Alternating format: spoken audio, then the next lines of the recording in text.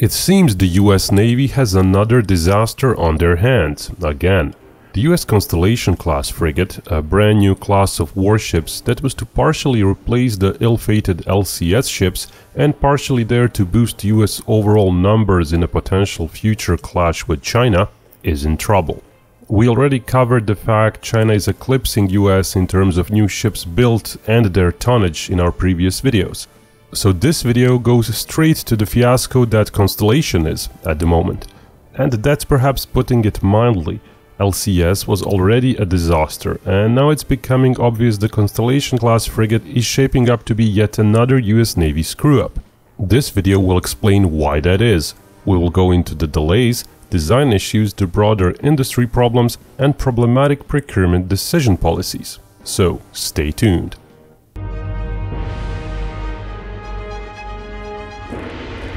Little over 4 years ago, Binkov did a video on the US decision to produce an Italian design as its new frigate class. A year ago, we made another video on the Constellation class frigate, where we compared it with the LCS. Do check it out for details on the Constellation design and capabilities, as well as on the LCS fiasco. Fiasco may be putting it mildly. The US spent 20 years on the LCS, cut its production from 50 to 35 or so ships, then already retired or put into reserve 10 of those. Most of its weapons modules were cancelled, so basically the ships are now either a minesweeper or an ocean-going patrol boat to fight pirates. Anyway, back then we still had some nice words for the Connie class. But after some recent US Navy statements and a report from the US Government Accountability Office, it's fairly clear the Constellation class is not off to a good start, to put it mildly. The US Navy was feeling uneasy about the rapid rise of China's Navy, which we talked about many times before. So after it finally admitted the LCS class is not gonna cut it, it went looking for a new ship class, a proper frigate. Due to the urgency, meaning due to China, the thought was that it's better to take an existing design. It would be quicker and cheaper. So the European design FREMM frigate was chosen and a US shipbuilder firm was to build the frigates. That was back in 2020. Italy's Fincantieri company won with its FREMM design. Fincantieri was and still is the owner of US company Fincantieri Marinette Marine. Marinette Marine built the Freedom class of LCS ships. Originally, the goal was to modify the FREMM design, to lengthen the ship, to change its superstructure to a degree, to add some displacement. The US Congress was told 85% of the ship design would remain the same. Back then in 2020, the US Congress required that the ship design had to be quote-unquote complete before construction started. But the US Navy and the manufacturer had a different interpretation of the term complete. So much so that after all the issues we are about to mention, the US Congress is getting ready to reword its law so that in the 2025 National Defense Authorization Act, the wording is changed from complete to 100% complete. The Constellation class is to be a 7400 metric ton ship, 151 meters long, almost 20 meters wide at its widest point. It is to feature accommodation for 200 people, a SPY-6 radar coupled with Aegis combat management system, 32 vertical launch cells, a large helicopter hangar for one Seahawk helicopter and one Fire Scout drone, a fairly modest main gun at 57mm caliber, RAM short-range missile system, a fairly comprehensive towed and variable depth sonar suite, and 16 medium-sized anti-ship missiles. Basically the Constellation is to be a large, ocean-going ship that's not gonna break the bank. It will be decent at everything, but not great at anything, save for potentially anti-submarine work. And that's fine. There's no need to send a larger Burke-class destroyer on every mission. But things started going wrong. The US Navy reported that as of September 2023, the shipbuilder had completed 3.6% of the lead ship, while it was supposed to have 35.5% of the ship's construction be completed by said point. Furthermore, there is a report of unplanned weight growth in the design, an increase of over 10% above shipbuilder's 2020 weight estimate, that might amount to over 600 metric tons. The US Government Accountability Office went further to say that the Navy's decision to approve construction while elements of the ship design were not yet complete, elements such as structural design, piping and ventilation design, has driven the said weight growth. The underestimation of adapting a foreign design to meet US Navy requirements also drove that weight up. Who is to blame is hard to say. The Navy is blaming the shipbuilder. The shipbuilder is blaming the Navy. The Congress itself may share some blame due to its requirements. Piling onto the Navy, Senator Roger Wicker, member of the Armed Services Committee, said this of the Constellation in a Congress hearing. The Constellation class frigate will be three years late and will take nearly 10 years to deliver the lead ship. This is largely because the Navy cannot keep its requirements steady. Almost 70% of the requirements have changed since the Navy signed a contract. Indeed, the US Navy itself confirmed the three-year delay. Right now, the first Constellation frigate is estimated to be delivered in April 2029. That may yet change. Of course, delivery is not commissioning into service, and commissioning does not mean the ship and its crew are ready for active duty deployments. So we're really talking about the very early 2030s when we talk about Constellation class actually being useful to the US Navy. As US Naval Institute reported, that 85% commonality goal with the original FREMM design is now down to just 15% or less. Why did that happen? Who knows, but possibly the 85% figure was never realistic. Possibly the feature creep reared its ugly head. It's likely that people deciding which design to use, which requirements to ask for were not necessarily experienced enough, and were very likely not the same people actually implementing the requirements according to their own experience in the US Navy. The Government Accountability Office report showed how the construction and design simply lagged more and more over time. Even over a year after construction started, functional design and 3D models of the ship were 90 or less percent complete.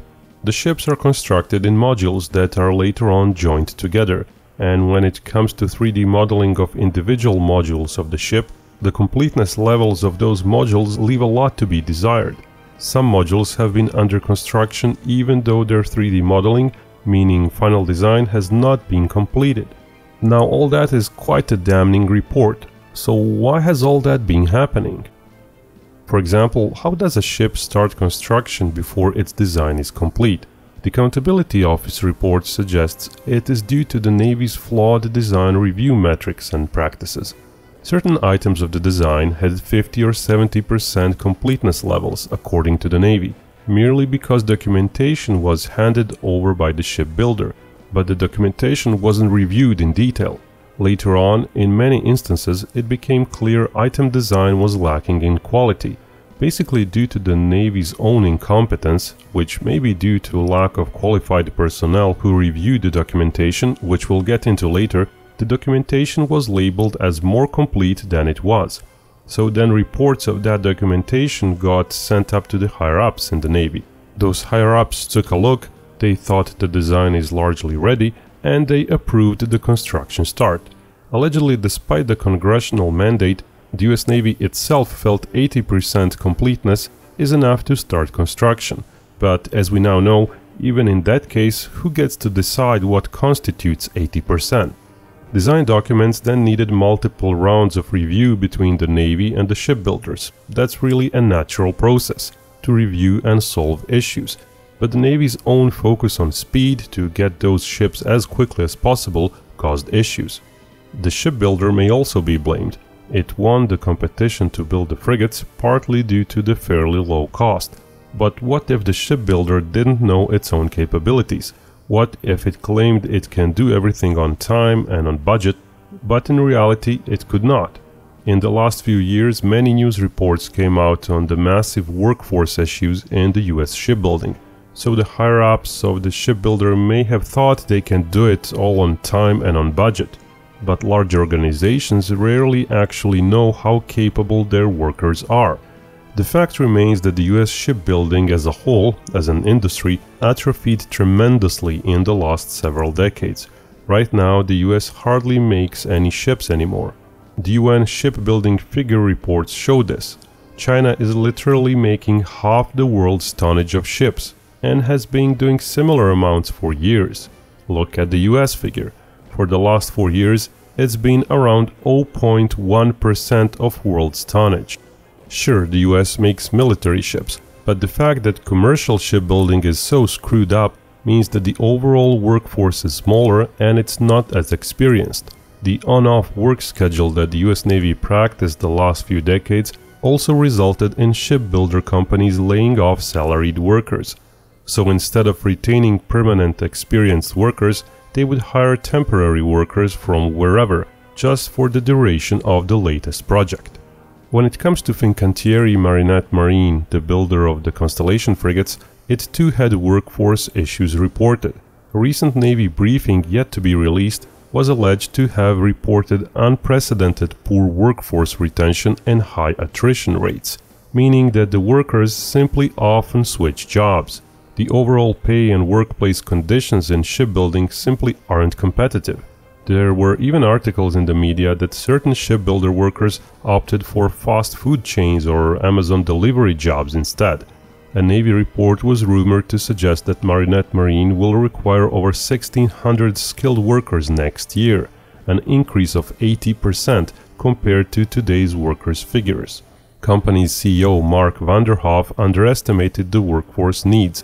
In 2022, as the company was ramping up work, he said they were looking at 300 to 400 extra workers over the next couple of years. Obviously, when you're losing your existing workers so quickly, you're gonna need more new workers, and new workers need to be experienced, or they need time to be trained. The workforce retention problem is so bad that the Navy itself has resorted to paying extra money to keep workers on the job. The Navy handed over 100 million to Fincantieri for various bonuses. Navy Secretary Carlos del Toro said that the Navy provided incentives for workers, $5,000 if they stay a first year, and $5,000 more if they stay throughout the construction of the first Constellation ship. Issues in shipbuilding are hitting the Constellation the worst, but are really widespread. Other ship programs are being delayed too for various reasons, worker retention being among them. US Navy Vice Admiral James Downey said worker retention continued to spiral negatively, at places doubling the numbers compared to the beginning of the COVID pandemic. Virginia attack subs are two years late, according to the Navy. Columbia class subs nuke missile carriers are 12 to 16 months late. Next Ford class carrier is 18 to 26 months late. So it's really a widespread issue affecting most if not all shipbuilding companies in the US. When one adds the US Navy's urgency and apparent lack of qualified oversight, it's easy to imagine how all this happened. Why couldn't the Navy spot the deficiencies in those design maturity reports? Because the Navy too grew short on qualified engineers to interpret those reports. Back in the Cold War, the Navy actually had engineering offices which designed ships. But all that has been outsourced to private companies, and those design offices in the Navy were shut down. It's really a whole cluster duck of various things going wrong and there's really no guarantee that the constellation will indeed be just three years late. The Accountability Office report listed the maturity of various subcomponents on the constellation. The new variants of SPY-6 radar, Aegis Combat System and the Anti-Submarine Combat Suite were labeled as having medium risk involved, while the combined diesel-electric and gas turbine propulsion system as well as machinery control system were labeled as high-risk items, Specific models of those two used on the Constellation have never before been used on previous ships, so there's a lot to go wrong. The Navy doesn't intend to test the systems on land, outside the lab. So after the first ship has been delivered, there is a decent likelihood that issues will arise, potentially requiring months or years to solve, and further delaying active service entry of the whole class of frigates. For comparison, the first Ford-class carrier was two years late on delivery, then spent five more years working out various problems, from its commissioning to its first deployment. Constellation is less complex, less likely to go that much wrong. There is a lot of potential in the Constellation class. Eventually, it's likely to get built in fairly large numbers. The US Navy simply can't afford not to sort it all out. When China is building so many more ships, Constellation will be a useful ship class. But the underlying industrial issues are showing to be tremendous and may be indicative of an even larger long-term problem for the US Navy in the future.